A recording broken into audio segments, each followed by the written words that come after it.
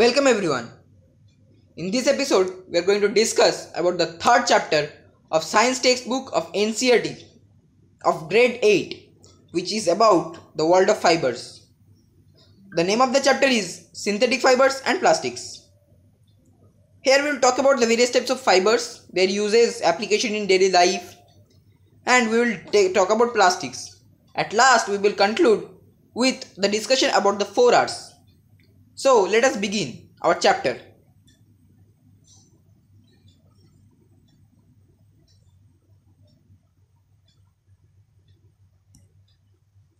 First of all, to know what we will learn in this chapter, let us take a look at the contents.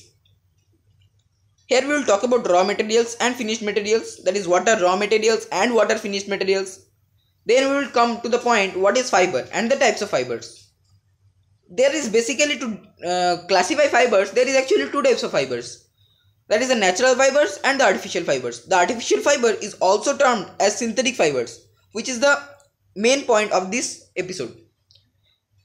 Next, we will take a look at the life cycle of silk moth.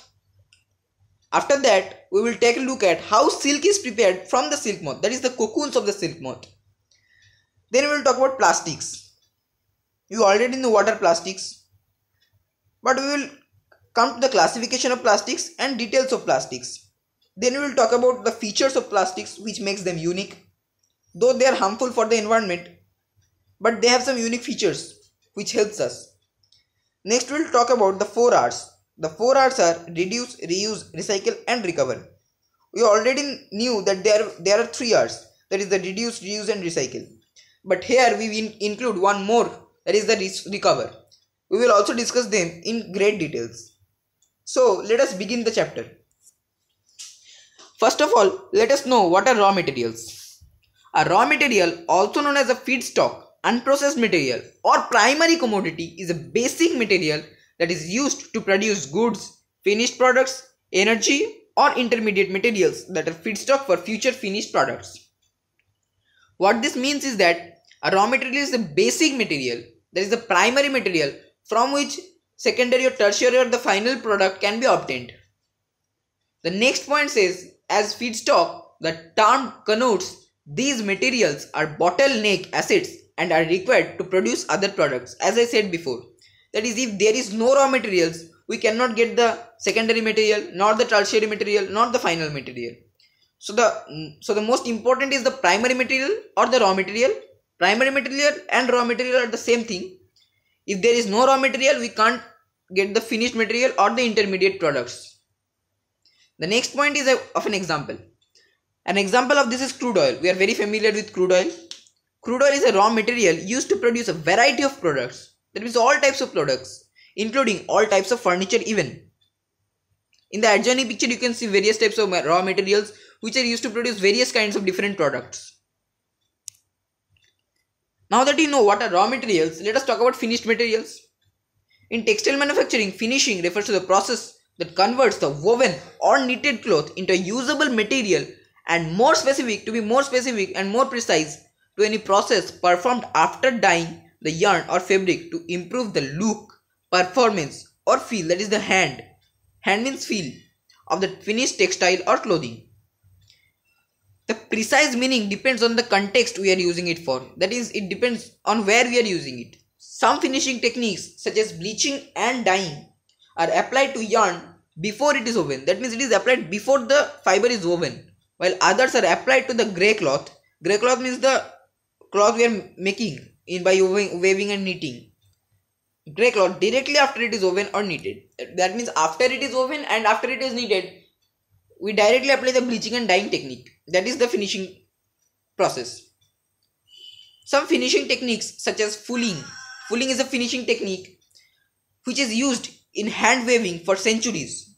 Others such as mercerization mercerization is a special type of finishing techniques used uh, to produce finished materials. Mercerization are byproducts of the industrial revolution. That is not that they are not the main products. They're the byproducts of the industrial revolution we have already learned what are byproducts and main products of a reaction in class 7 so they are the byproducts of industrial revolution next let us talk about what are fibers and the types of fibers A fiber is a single and elongated piece of material which is similar to threads, but they are not exactly threads. They are similar to threads. Fibers are of two types as I told before. Generally, they are classified into two types. The very premature classification that is the natural fibers that is wool, silk, etc. Also, we can include examples like cotton, jute. Those are also natural fibers. Actually, natural. What are natural fibers? As the name from the name only name itself we can understand. Natural fibers. If we divide into nature and fibers, nature that that is the fibers which are obtained from nature are termed as natural fibers. Now, wool, silk are obtained from animals. We know mainly the animal's body is made up of proteins. So they are also termed as protein fiber. Silk is generally made from the protein named as fibroin. Whereas we know plants contain cellulose. That's why we can't digest the plants directly, whereas cows can do. We have learned it in the nutrition in animals chapter in class 7, rumination process. There cellulose. Plants contain a specific thing called cellulose, which which is the basic material of the cotton and jute that means they are they are also termed as cellulose fibers because they are obtained from plants and plants contain cellulose. Now let us talk about synthetic fibers. What are, what are synthetic fibers?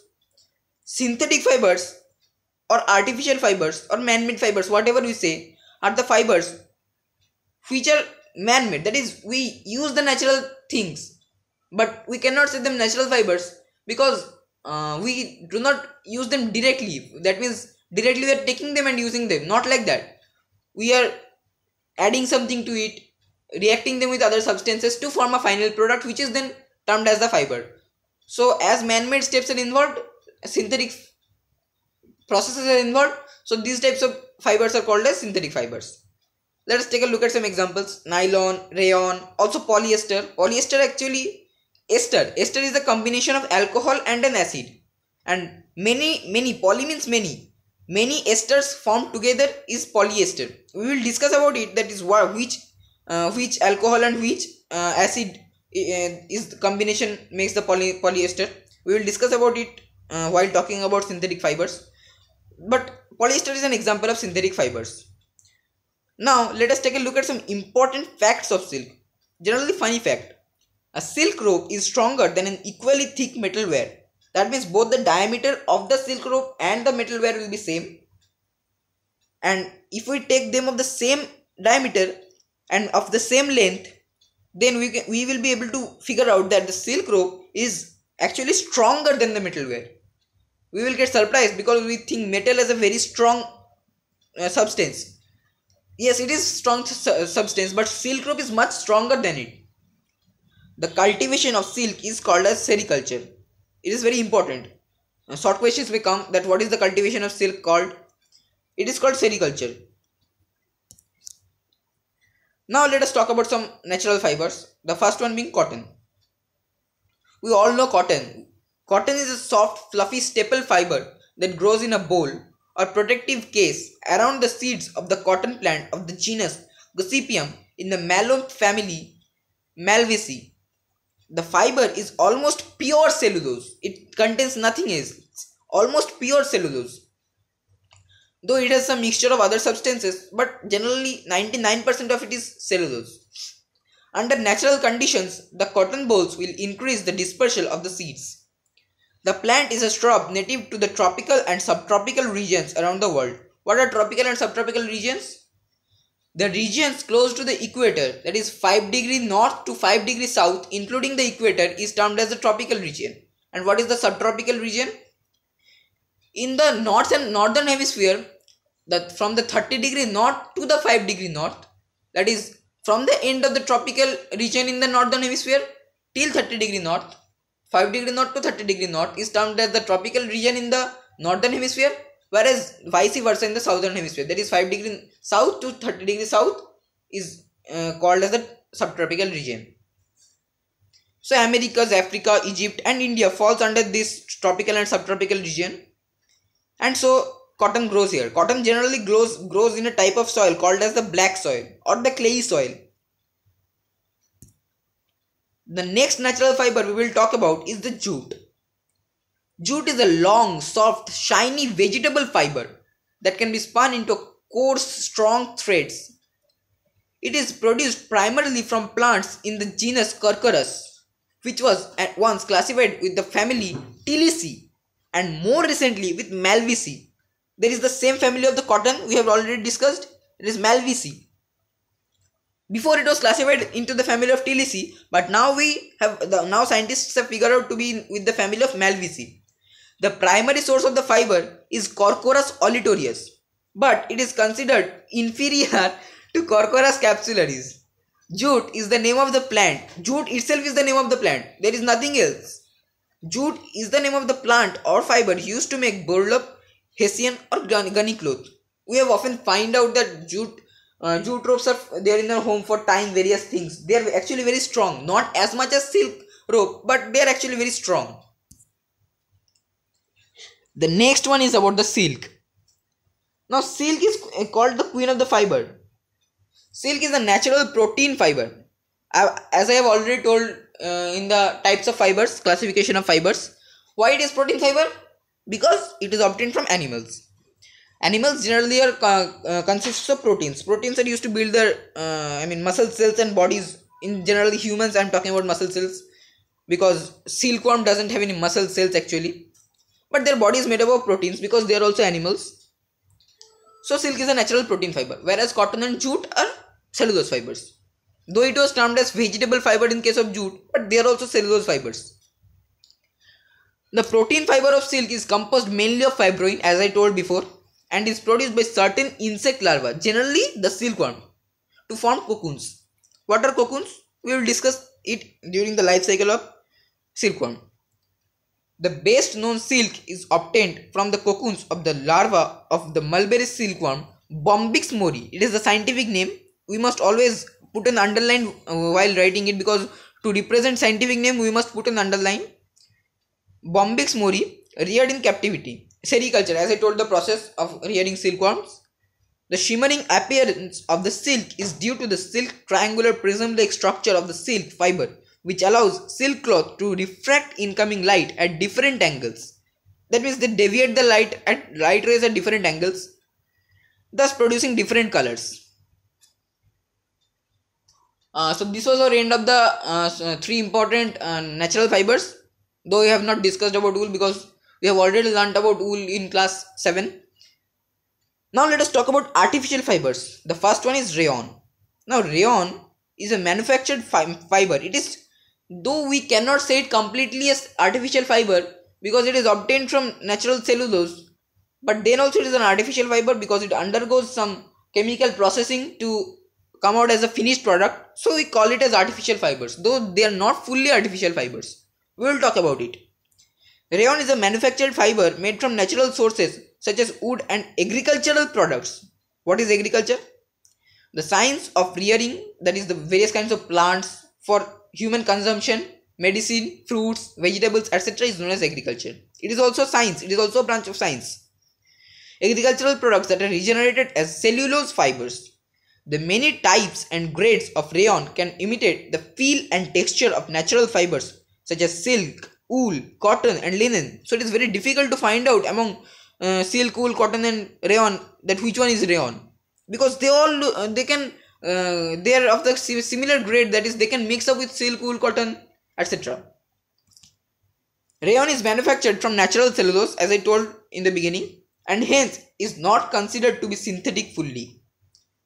Technically the term synthetic fiber is reserved for fully synthetic fibers like the nylon uh, polyester etc in manufacturing terms rayon is classified as a fiber formed by regenerating natural materials into a usable form, though it involves some chemical treatment of rayon, which is not included here. The next artificial fiber is the nylon. It is a completely full uh, artificial fiber. Now, what is nylon? What is nylon? Let us talk about nylon. Nylon is a generic designation for a family of synthetic polymers based on aliphatic or semi-aromatic polyamides. Nylon is a thermoplastic silky material. Nylon stockings. Let us talk about nylon stockings. What are nylon stockings? When they came? Why was they used? Why were they used? And how much strong they are? What is their strength? Let us talk about all these.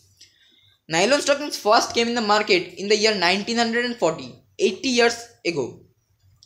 they sold 5 million pairs on the first day in indian in indian uh, mode of saying in numbers it is actually 50 lakhs. But if we take the international system of telling as numbers it is 5 million pairs on the first day. That means 6 zeros followed after 5 during the second world war nylon was produced. Nylon produce was restricted to only parachutes and cords. Nothing else of nylon could be produced. Only parachutes and cord, cords. Why only parachutes and cords were used? Because during the World War II, uh, the uh, the soldiers used them during the flight during the flight uh, battle. Parachutes and cords were used. So it was restricted in second during Second World War. It was restricted only to parachutes and cords. Nylon ropes are stronger than steel wire and can be used for rock climbing. The next one is acrylic. Acrylic is a transparent thermoplastic homopolymer known more, known more commonly by the trade name plexiglass. The material is similar to polycarbonate in that it is suitable for use as an impact resistant alternative to glass. Now, acrylic is also known as fake or false wool. Why is it so? Because they exhibit the similar properties to that of wool. Let us talk about the features of acrylic now. It has great resistance to sunlight. It has resistance to shrinkage. That means if you if you just compress it and then leave it as it is, it will come back to its original shape. That means it has resistance to shrinkage. It does not shrink. It has good elasticity. You can you can elasticate it. You can pull it in either ways. That is both vertically and horizontally. It has good elasticity. It is generally colored before being turned into a fiber very important point it is colored before turned into fiber generally it has low moisture absorption. That is it, it, it, absorbs low amount of moisture from the environment and it gives soft and warm feel. It blends well with natural fibers like cotton wool etc generally more with wool as i told before. That's why it is also known as false wool, false wool or fake wool. Now this is about polyester. Now polyester is composed of two terms as I told before poly plus ester. Poly means many and ester means and mix uh, a compound formed by mixing uh, an alcohol with an acid. So polyester is a synthetic fiber derived from coal, air, water and petroleum. Developed in the 20th century laboratory, polyester fibers are formed from a chemical reaction between an acid and alcohol as I said before. So what is the what is the alcohol used here? That is the ethylene glycol. It's the alcohol. And what acid is used is the terephthalic acid. Both of these combine to form polyethylene terephthalate which is the basic component of polyester the adjoining picture you can see a picture of polyester shown now we have talked about various types of uh, natural fibers and artificial fibers there is cotton jute silk rayon, nylon, polyester, acrylic, etc. Now let us talk about the life cycle of silk moth. Uh, female moth lays many tiny eggs. Those turn for those uh, tiny little eggs hatches out and forms larva. We already have, though we have already talked about the life cycle of silk moth in class seven. sorry, sorry we have already talked about the life cycle of silk moth in class 7. Let us revisit it. Who remembers we have who who says we have remembered it or forgot it? So the tiny eggs hatches into larva.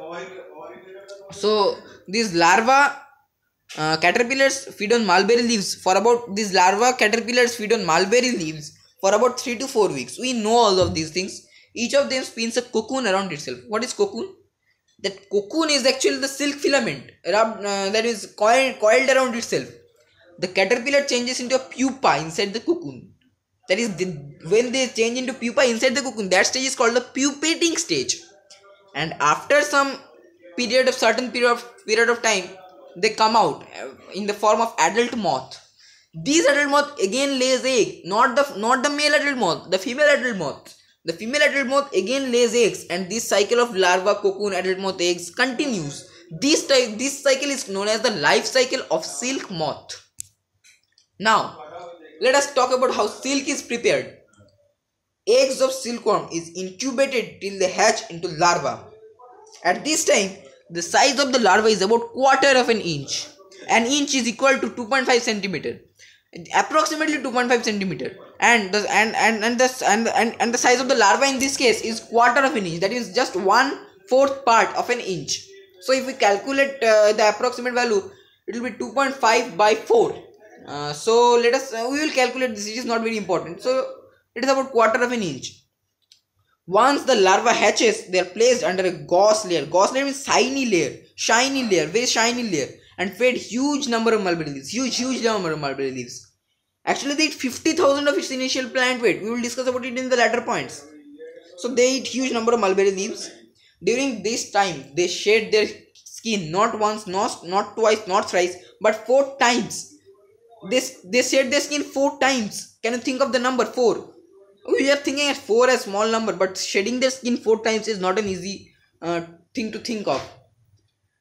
The larva which feeds on the mulberry leaves produce the finest of the finest silks. That means the ooh, mulberry leaves are actually the uh, we, uh, we have already uh, we already know that uh, there is a type of uh, what to say there is a type of silk. That is a mulberry silk. It is the finest silk. It's it's shiny it's comfortable to wear so the larva which feeds on the mulberry leaves produce this type produce this mulberry silk and it is the finest of the finest silk. That is it has greatest quality, very nice quality. And the states producing this mulberry um, silk is uh, in India is uh, the, in the southern parts it's Karnataka, Tamil Nadu, Kerala. Uh, in the northern parts Jammu Kashmir, um, some parts of West Bengal, etc. Now the silkworm changes its color and is ready to spin a silk cocoon. We have uh, talked about the silk cocoon in the part of life cycle of silk moth. It is ready to form the silk cocoon. A single pupa can produce 15 meters of fiber per minute. Think 15 meters of fiber per minute. It forms a silk cocoon in 3 to 8 days and this period is called the pupating period. As I, as I discussed before, a cocoon can produce 1 kilometer of silk filament generally it is it varies between 600 to 900 though sometimes uh, in rare cases it becomes 1000 meters that is 1 kilometer of silk filament. The cocoon is then treated with boiling water. It is seriously dangerous because it not only affects the uh, silkworm they die but also it uh, various types of scars are formed on the hands of those who are doing it. So it is a very risky task. I do not tell you to try this at home at all. It takes 10 kg of silk now 10 kg of silk. So we think that uh, near about 9 kg of silk should be produced from 10 kg of silk cocoon. But no no no. To our great surprisement it's just 1 kg. 1 kg of fine silk is produced from 10 kg of silk cocoon. So think how many uh, how many silkworms must sacrifice to produce 1 kg of fine silk? Now uh, we are at the very ending point of our chapter. Uh, today's chapter that is synthetic fibers and plastics. Uh, so synthetic fibers and plastics. So now let us talk about plastics. Plastics are a wide range of synthetic or semi-synthetic organic compounds that are malleable and so can be molded into solid objects. We know that we, from uh, plastic is uh, we see plastic bottles. So but they were not in the same form they were they were molded into that form from the plastics. From a uh, from a large amount of plastic it was molded into a plastic bottle. But remember one thing those plastic bottles which are used by us once should not be used twice or thrice because they are very dangerous and they can even lead to cancer. So we should not use those, those plastic bottles. We should use them once and we can reuse them in some ways. We will talk about it during the concept of 4 R's or otherwise we should trust them and throw them away so that other people can reuse it. Now, what is plasticity? Plasticity is a general property of all materials which can deform irreversibility without breaking. But in the class of moldable polymers, what are polymers by the way? Polymers are formed from monomers actually. Monomers means single single piece of uh, what to say fibers and polymers are uh, lot of monomers put together. Moldable polymers this occurs to such a degrees that means a huge degree that the actual name derives from this specific ability. Uh, now let us see the classification of plastics. There are actually two types of plastics to be precise thermoplastics and thermosetting plastics. We should remember these names, these are very important for exams. Uh, now, what are thermoplastics? plastics that get deformed deformed means that changes their shape after the application of heat again and again we can apply it thousands of times but their shape may change every time that type of plastics are called as thermoplastics for example pvc polyvinyl chloride. We have already heard about uh, things like pvc pipes. Those are composed of this pvc polyvinyl chloride. The other category is the thermosetting plastics. What are thermosetting plastics? Plastics that do not get deformed after the application of heat once that is in the first stage. That means when they're molded for the first time after that if we apply heat they will not change the shape. They will remain in the same shape. That type of those plastics which follow this policy are termed as the thermosetting plastics let us take a look at some examples the examples are bakelite and melamine now water bakelite and melamine those bakelite and melamine if we take take look at closely if we take a look at the switchboards present in our homes uh, in the circuitry and also to the handles of the that means the utensils uh, those plastics which are used there are bakelite and melamine. Now, features of plastics. This is very important actually. Features of plastics. Uh, let us see some important features of plastics. We cannot include all features because there is lots and lots of features of plastics. You can go and surf it on Google or any other web browser you are using. So some important features of plastics are plastics does not break now, you may say some plastics do break, but actually, to be very precise, all plastics do not break. They may get molded or change their shape, but they do not break actually. All plastics do not break. It is lighter, we know it. Plastics are lighter and cheaper. Yes, it is obviously cheaper than the other metal containers and whatever we are using. It is easy to handle. It is easy to handle. That means uh, we can we can uh, carry it from one place to another very easily now, the next point is something very important. It does not react with food, water or air. Neither it do, neither does it react with food, nor air, nor water. So, it does not react with food, water or air. So, we can store food, food, water, actually uh, food, water in it uh, very safely. Actually, I have not said air. We cannot store air actually. We do we store air in the container? I don't think so so we can store uh, food water etc in, the, in the, these type of container very easily now the next point is chemicals can be stored in it now suppose you store a chemical in a uh, iron container or any type of metal container now we know that metals are very much reactive in nature so if we store chemicals in it they might react with the metal and form some other types of elements or compounds which we do not want at all so to prevent this from happening, we can store them in plastic container. Neither the plastics will get melted by the chemical reaction nor it will perform any chemical reaction with the chemical. So it is very safe to store the chemicals in the plastic container. It is lightweight and durable.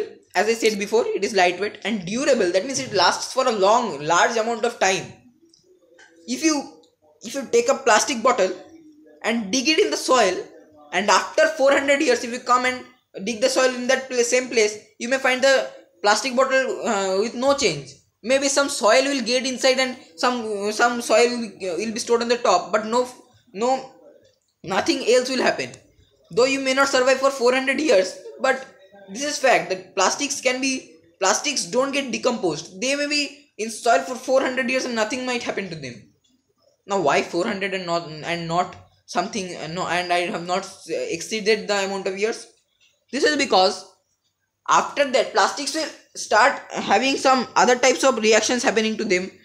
400 years the amount of 400 years uh, and till the amount 400 years they will uh, generally till the amount of 400 years nothing will happen to them but after that some changes might take place in them now plastics are poor conductor of heat and light i have not used the term insulator now, when we are growing in classes, we should not use the term insulator. Instead, we should replace it with poor conductors. Now, why?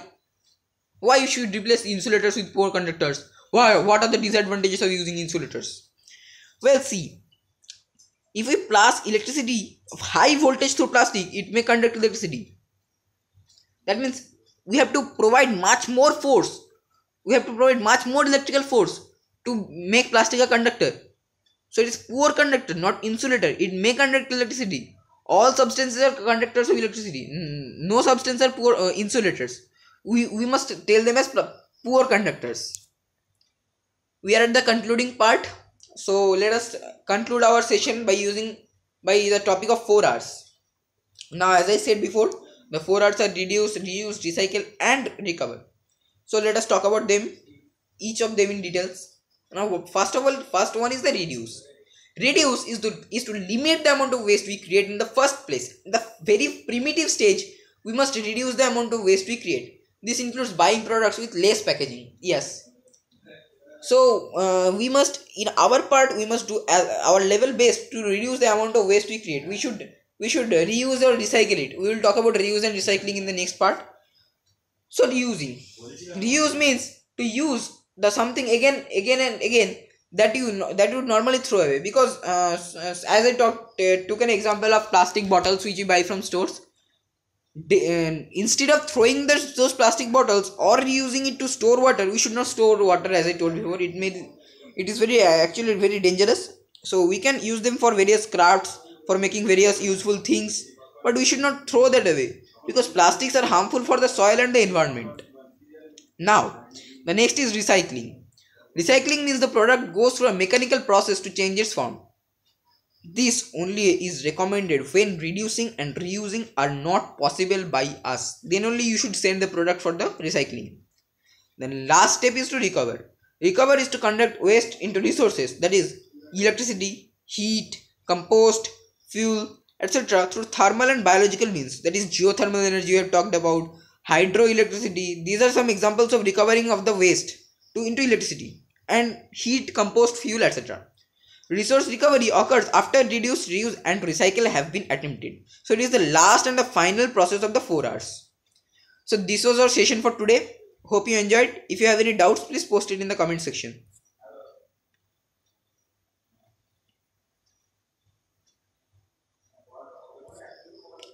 Thank you all. Please like share and subscribe my channel. Also do not forget to press the bell icon to get the latest notifications. And if you have any doubts and any questions regarding you can post it in the comment section. Thank you